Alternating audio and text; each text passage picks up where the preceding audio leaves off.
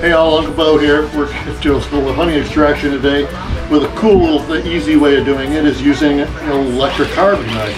I find these things at thrift stores all the time for $2. They're a great tool to use for honey extraction.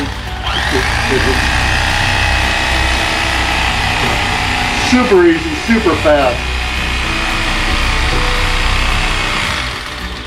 Boom, done, ready to rock and roll hit the other side and you're ready to go. You always keep a fork handy if you need to, just do a couple little scratches in there, no problem. Into the extractor.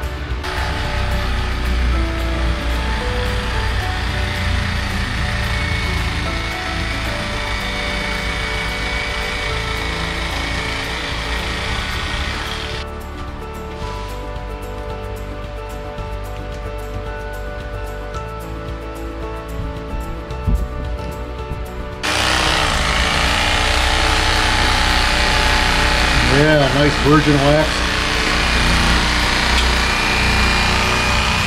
Nice and easy. I always date the frames also, put a number on them so I know exactly how old that frame is, and do foundation on it.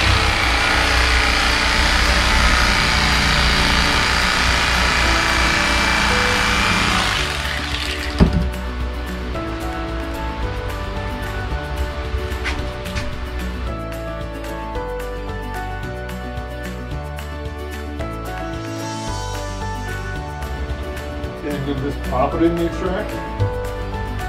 That easy and simple.